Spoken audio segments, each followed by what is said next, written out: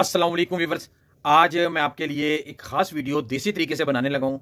कोई ब्रूडर का इस्तेमाल नहीं कर रहा मैं इसमें। आम सादा सा पिंजरा, क्योंकि हर इंसान के पास ब्रूडर नहीं होता। तो ब्रूडर के अलावा जो है, किस तरह जानवर को सेट किया जाता है, वो उसकी तरकीब मैं बताने लगा हूँ। ये आपके सामने है, एक सिंपल सा एक सौ वाट का या साठ वाट का बल्ब ले लें आप। तो ये मैंने पेपर जो है जान के लगाया हुआ ताकि फ्रंट लाइट मेरी सही, कैमरे पे सही शूट हो सके।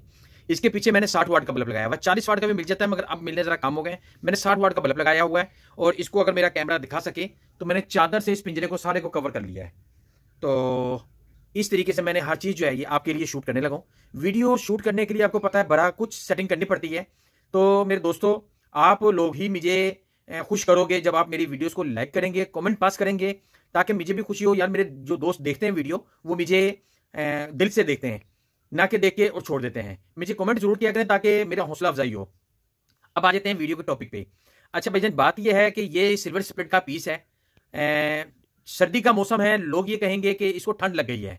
नहीं इसे ठंड नहीं लगी इसका पोटा बाउंड हो गया हुआ है। अगर मैं आप इसको जानवर को पकड़ें और मैं आपको तरीके कार बताता हूँ इसका यहाँ से पोटा जो है ये बहुत टाइट होया हुआ था सुबह। मैंने एक दफ़ा इसको डोज दे दी हुई है पोटा थोड़ा सा नरम हो गया हुआ है इसका। मैं जूम आउट कर देता हूँ थोड़ा। ये पोटा जो है, बहुत नरम हो गया हुआ है। अब ये थोड़ा नरम कैसे हुआ है आपके सामने अभी भी कंडीशन ये सुबह से जानवर ऐसा है, मगर लोग यही देखें कि ठंड जब भी जानवर को लगती है, उसके पैरों से चढ़ती है। आप उसके पैरों को चेक करें कि यार ये ठंडे तो नहीं है। अगर तो वो ठंडे हैं तो फिर तो उसको ठंड लगी हुई है, बुखार चढ़ गया हुआ है।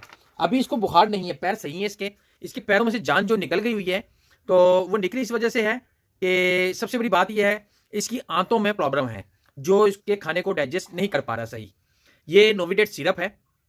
ये पाउडर फॉर्म में होता है ये। मैंने अक्सर जो है इंसानों वाली मेडिसिन इस्तेमाल करता हूँ।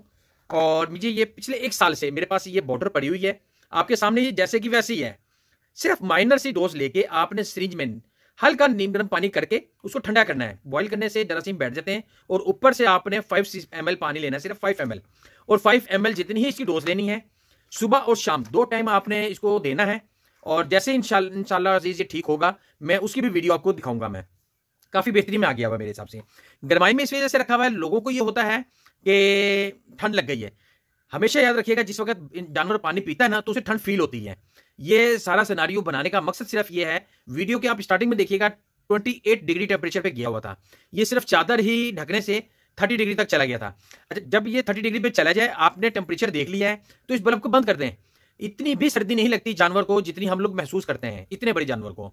छोटा चूजा हो तो ठीक है, उसको टेम्परेचर मेंटेन करना पड़ता है ट्वेंटी एट के बजाय thirty two degree thirty five degree temperature देना पड़ता है उसको। तो आप twenty eight to thirty degree temperature रख लें और इसको घंटे एक चलाएँ और इसको बल्ब को बंद कर दें। और बेशक सारी रात बंद है कोई मसला नहीं है नो प्रॉब्लम अभी जैसे जैसे मैंने ये नोविडेट स्टार्ट किया है इसका माइनर सा लेना है सिर्फ़, उसकी डोज भी मैं एंड वीडियो के एंड में बताऊँगा मैं। और ये साइमोट्रेस ये मल्टीवाइटामिन होते हैं, जानवर हो तो उसकी जो है ताकत आती है उसके अंदर। तो फ़िलहाल इसकी मुझे आंतों में प्रॉब्लम लग रही थी। तो मैंने फ़िलहाल ये दवाइयाँ दी हैं। अभी फ़िलहाल ये पार्ट वन के हिसाब से बना रहा हूँ, क्योंकि वीडियो का साइज़ काफ़ी लंबा हो जाएगा। जैसे जानवर ठीक होगा, दो दिन में, चार दिन में पार्ट टू जो है मैं फिर बाद में शेयर करूँगा आपके साथ। ओके अल्लाह हाफिज़।